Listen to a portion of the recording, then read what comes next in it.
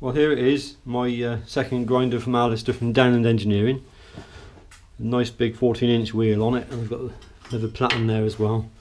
So this will complement my first uh, maxi grinder. This is an upgraded one with a, a gas strut instead of a spring. So I'm looking forward to um, to working with this machine. Um, but the uh, object of this video or this video diary so I think there's going to be more than one video on this. Uh, is the um, the update of the workshop. And this is my humble workshop at the moment. And it's uh, been a bit of a compromise to work in here to be honest with you. Um, with the priority obviously to earn a living uh, I had to do make do with what I had at the time. And um, for those of you that have been following my channel for some time you'll know that I was originally in my other garage uh, which suffered a bit of a disaster about a year and a half ago and it got flooded. Anyway this is another sort of single garage that I've got on my in my garden and um, it's in two compartments uh, and I've used the first area as my heat treatment room. There are my kilns a little anvil down there and my Rockwell tester here but it's very small and um, I'm going to be extending this area. This is the main grinding room. And there's my uh, current maxi grinder. Dual presses. And you can see literally if I turn the camera how small this area is. And it's not an ideal grinding room because in the morning I get strong light coming in from this window and it casts very strong shadows and I found out that that is not ideal for, for grinding. So you want a sort of a dark environment with artificial light almost for the grinder. Um, through the window here is my greenhouse and then beyond that is the other workshop over there which is where I started my knife making. Uh, but it's not a, a good building that. So I'll take you outside and I'll show you what I'm going to do. Before I do this will be the new the new access to the new uh, extension. And I'll um, also have an access here.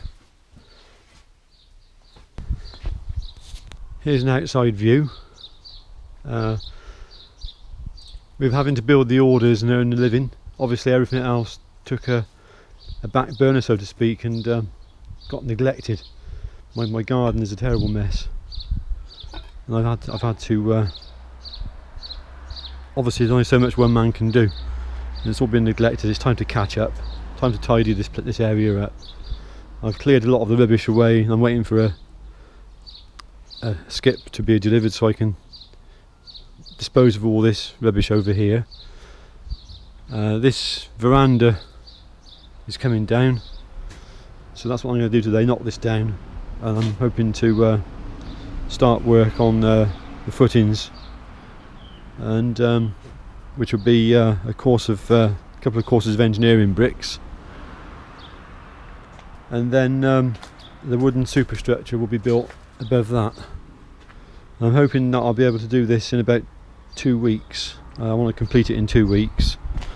I've got John John Lane aka Moleskin Joe who's going to come and uh, install proper dust extraction for me and also um,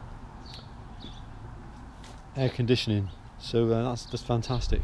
And it's going to make the make a much more pleasant environment to work in which I think is uh, really vitally important really for this job. Um, I'm doing it all myself uh, so that should keep the costs down.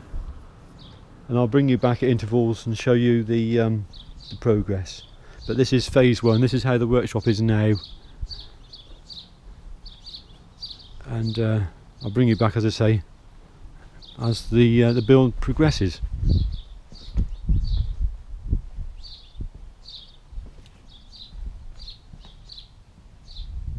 We're cracking on with it. Huh? Go on then. Knock it down. Come on, put your back into it. What are you trying to do? It's not hard, it's not as easy as it looks.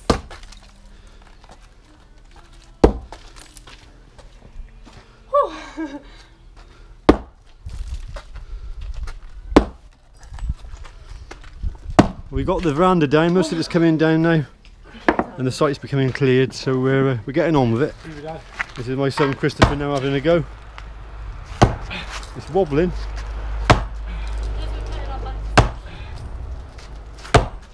you have a sledgehammer that? You can't see any reinforcing bars in it, but it's holding itself up. That's got a thing in it as well. Okay, we've discovered there's a scaffold tube, a galvanised iron pipe down the middle of this. That's why it's refusing to break. So what we're going to do is strike the scaffold tube with a hammer, and that will send shock waves down, and it should uh, blow or split the, the concrete. Would that, would that, would the little hammer be good? Yeah, that one over there. Get the hammer, and then whack the steel pipe. Okay.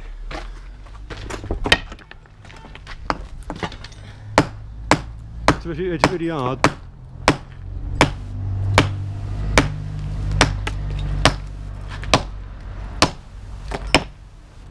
Uh, now you're beginning to break it now, so they can come off now. It's cracking down here as well now. Okay, that might come off now. Okay, exposes more of the pipe. Wait, So whack that, whack- whack it on that side now. You might even be able to send bigger shot waves by using the uh, Sledgehammer. the sledge on it. Okay. Careful, man. I know.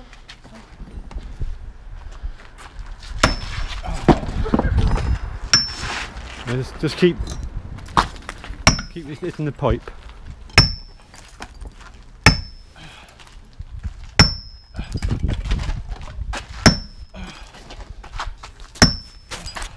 Yeah, more shock waves are going. Go on, keep going. What would you have done if it was actually reinforced, like with steel pipes? Just have to keep breaking it away, bit Would it have been more tedious? Yeah, it would have been. Yeah. Ah. What you do is you get something heavy and you, and you hold it at a state where your muscles tense. Here we are. The pillars down, But, but you hold it, and there's the uh, yeah, the yeah, galvanised pole in the middle. And then um, the nerve signal that- that that- goes to the muscle. That's that, that's the way strength works.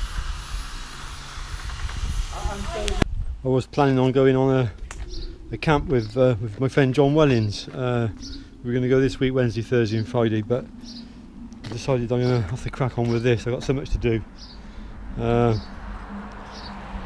sorry, John, if you're watching this, do apologise. I know you understand. Got the first lot of bricks in. I got to go. I can only collect so much at a time, building material wise, because they're heavy. And I've only got a car, and I can't put too much in the car. Um, but I started to gather the bags of ballast and cement for the for the base. Uh, I have to go keep going backwards and forwards to the uh, uh, DIY store to get more as time goes on. But I'm starting to stock up on that now. The site is cleared. The uh, veranda's down. This pole I'm going to have to disc cut off because it's probably gone in the ground quite a way. So I'm going to disc cut that off. And I'm going to clean the whole site up get myself a wheelbarrow and clean it all up. Um, this is the debris which is building up rather, rather rapidly. Um, and I've got a skip coming tomorrow, uh, hopefully coming tomorrow, and we're going to uh, load that into the skip and tidy the garden up and uh, give us some more breathing space. And look at this here, I've got this is from when I cut the hedge. Uh, having to uh, remove that as well. So this is progress. Uh, I want to motor on and see if I can get this project completed in a week. Well, progress thus far, and I'm finished now for today. End of day one, and we've got the uh, beginnings of the uh, the footprint going in. So this will give me uh, an awful lot more space. This will be my new grinding room eventually. There'll be a wooden superstructure above it. Uh, I'm going to have a in the roof. I'll have a right about here. I expect there'll be a, a skylight to let the light in. Dust extraction, air conditioning. It's going to be a wonderful uh, workshop for me, but it is quite hard work, and you can see the mess that I've uh, managed to um, accrue.